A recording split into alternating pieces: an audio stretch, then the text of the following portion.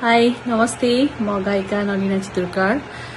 बुलाकी entertainment जुन यो सत्य तथ्य कुराहरूलाई लिएर एउटा प्याकेजको रूपमा अ, अहिले आइराख्नु भएको छ र सबैजना बुलाकी इन्टरटेनमेन्ट टिमलाई मेरो तर्फबाट एकदमै शुभकामना छ धेरै धेरै बधाई छ एकदमै राम्रो कुराहरू लिएर आउनुहोस्। अझै पनि अब नेपाली साङ्गीतिक क्षेत्र कला क्षेत्र चलचित्र क्षेत्र अझै पनि तपाईँहरूको सपोर्ट तपाईँहरूको जुन समाचारले तपाईँहरूको न्युजले तपाईँहरूको इन्टरटेनमेन्ट न्युजले चाहिँ अझै राम्रो प्रगति होस् सबैजनालाई राम्रो इन्फर्मेसन प्राप्त होस् र एकदमै मेरो तर्फबाट धेरै धेरै बधाई तथा शुभकामना छ। So wish you all the best Bulaki entertainment